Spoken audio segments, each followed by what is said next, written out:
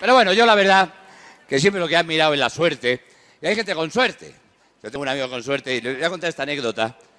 Porque, porque yo creo que ustedes también tengan suerte. Y hay gente de verdad que, es que nace de pie. Yo conocí a un hombre, ¿verdad? Puso una empresa de corcho y salió a flote. Joder, o sea, era una cosa. Pero es que jugaba a la quiniela, acertaba todo. Todo, la lotería, hasta la fecha, acertaba, joder, todo. Multimillonario. Y dijo, tengo tanta suerte que voy a probar a ver. Ya, ya- ya estoy harto. Dice, me voy a ir al desierto en calzoncillos. Y sin un duro. A ver si tengo suerte. Y mira, el hombre en calzoncillos por el desierto. Sí, dos días muy contento, pero joder, al quinto día dice, joder, que sé tengo. Seré imbécil con la suerte. Estoy asfixiado.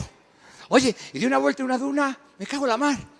Una fuente de agua mineral con gas y otra sin gas. Joder, qué suerte tengo, me cago en la leche.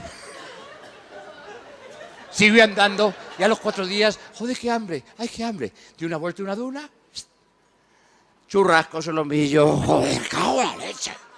Mira, me da una rabia lo de la suerte, y yo, ¡po! Y pegó una pata en el suelo y salió una lámpara maravillosa, ¡po! Y un genio, joder, manera de despertar a uno. Pídeme tres deseos.